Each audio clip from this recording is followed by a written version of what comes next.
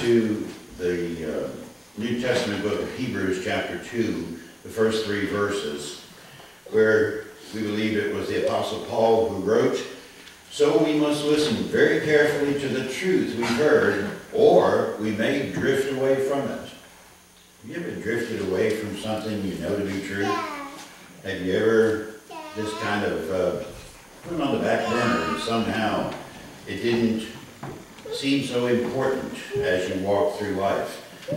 Um, that's what Paul is talking about here when he talks about the truth that they've heard. He's talking about the truth of the gospel, talking about the truth of who Jesus is. He said, we must listen very carefully to that truth that we've heard, or we may drift away from it.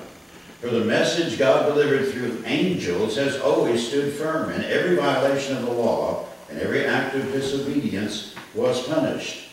So what makes us think we can escape if we ignore this great salvation that was first announced by the Lord Jesus himself and then delivered to us by those who heard him speak? If your doctor is like mine, there are always tests, aren't there? Tests with bodily fluids, machines. My doctor tests by thumping my chest, my knees, and anything else he's curious about. There are lots of tests when you go to the doctor. Reason I'm told for these tests are for developing a baseline. The doctor wants to see where you are normally. You know, not everybody has blood pressure that's 120 over 80. Can I get an amen? Amen. Uh, sounds like, you know, there's an epidemic in here, isn't it? Um, some people naturally have higher blood pressure and some lower. My mother was one of those people with low blood pressure. Um, some people have low, some people have high. Few are constantly perfect at 120 over 80, but that's the target. It's the best way, says the experts, for a heart to operate is at 120 on the top number and 80 on the bottom number. And when I go to the doctor, if after all the tests that he gives me, he tells me that I'm sick, he will start writing on the pad in Latin so that I can understand it. And it's understood that if I really want the sickness to go away, I'd better follow through and take my medication. Now, at the risk of offending the theological correctness police here, I want to say that my doctor is just like Jesus, very annoying. What do I mean by that? Well, often because of the expense of getting better or the trouble involved in getting better, I would much rather just ignore my illness until it becomes something I can't ignore anymore. Have you been there? Uh, you know, we, we hate when I go to the doctor, he says, how are you feeling? I say, that's for me to know and you find out. You know, you're the expert. Do it if you can. But my doctor won't let me do that. He gets in my face and he says, either with words or just a stare, do you really want to be well?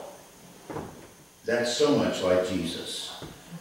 Jesus says to us, do you really want to be well? Or would you rather lapse away would you rather drift away from being healthy?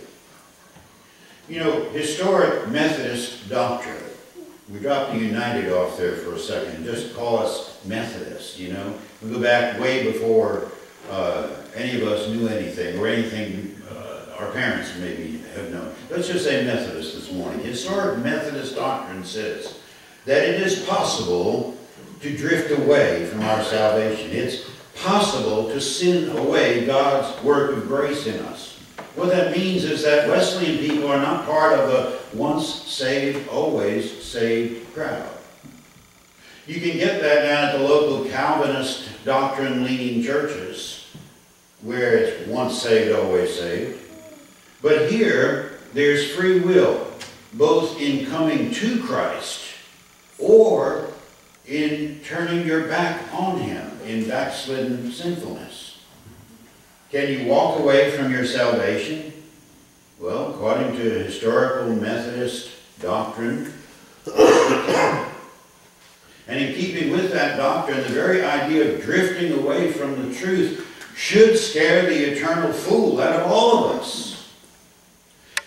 If even, Paul writes, if even the angels who disobeyed were punished for drifting away from complete obedience to God, and they are lumped in with such nefarious immorality as Sodom and Gomorrah, how could you and I not be overwhelmingly mortified to be lumped in with that group? Now, some people might be quick to say, oh, but Russell, the, the grace of God.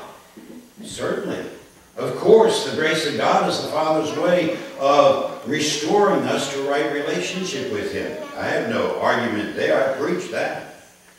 But a right relationship with God is only right when it is a holy relationship.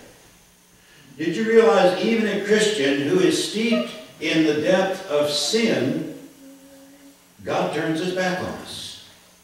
When we refuse to confess our sin, when we refuse to own our sin, when we refuse to repent of our sin, how many prayers does God hear when we lift them up?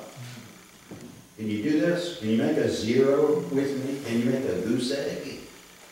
When we're in sin, except we confess that sin, that's the only prayer he hears, is the confession of our sin.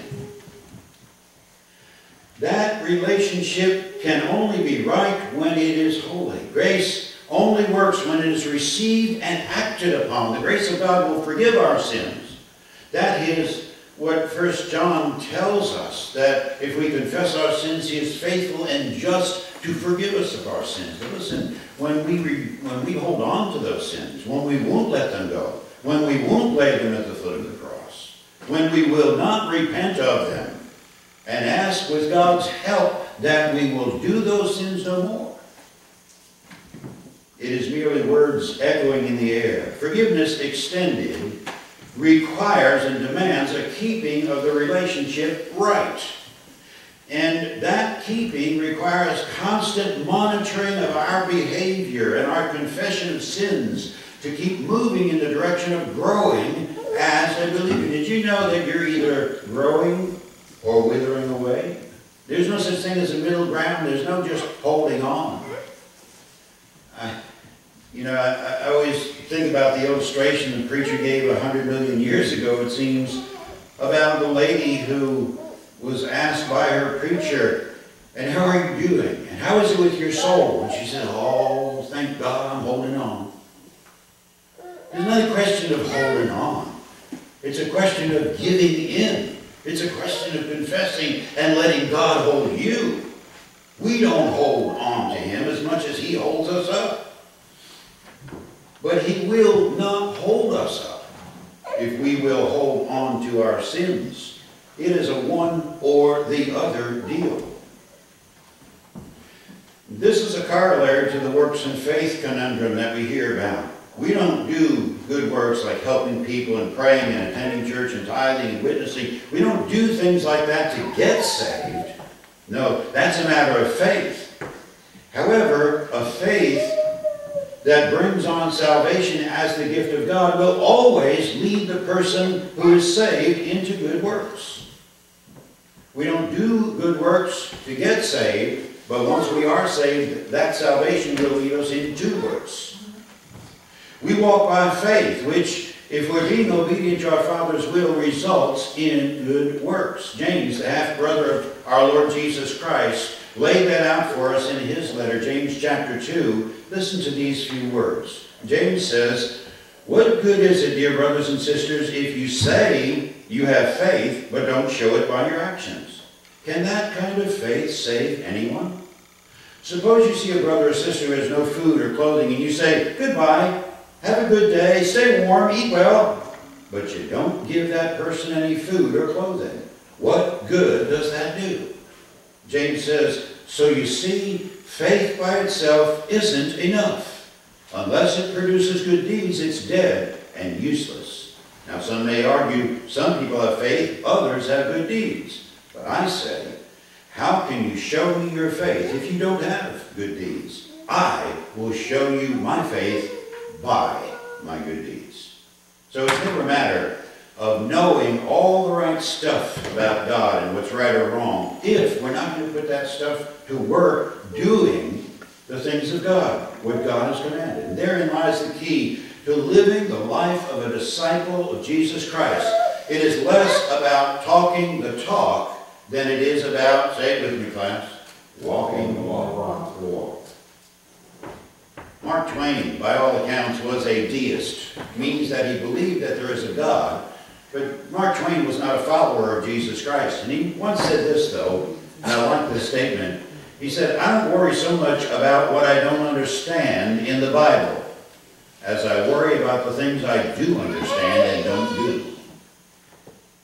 And that's the forgiveness baseline. That's the point at which we check our faith pulse. Did you realize that just like your biological pulse, that you can check how good the heart is doing, we have a faith pulse to see if we're really walking the walk of doing what we've, uh, what we've had made clear to our hearts about following Jesus.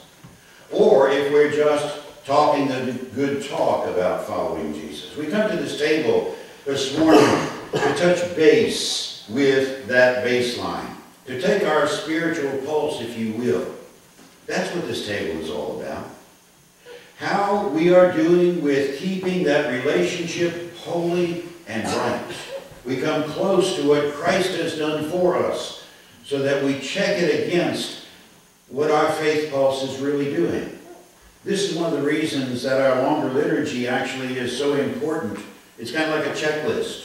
In the longer liturgy, which we're going to use this morning in just a moment or two, we do several things. We are asked to examine ourselves. And so we examine ourselves. We examine our life. We take our pulse, if you will, about how we're doing with God. We clear our hearts with other believers. In confession, we confess our sins and we receive forgiveness and we offer forgiveness to others. You remember in the liturgy where the preacher says at the end of a time of silent prayer, in the name of Jesus Christ, you are forgiven? What does the congregation say back to the preacher? In the name of Jesus Christ, you are forgiven. You see, we offer and receive forgiveness with others. We confess our faith and our dependence on Christ. And all of this frees us for obedience and service in God's kingdom. We take our medicine, if you will, and we watch our test levels return to the baseline, to the place where it ought to be, forgiven, healthy, and useful. That is what we come to the table for this morning. In the name of the Father, Son, and Holy Spirit, let it be so.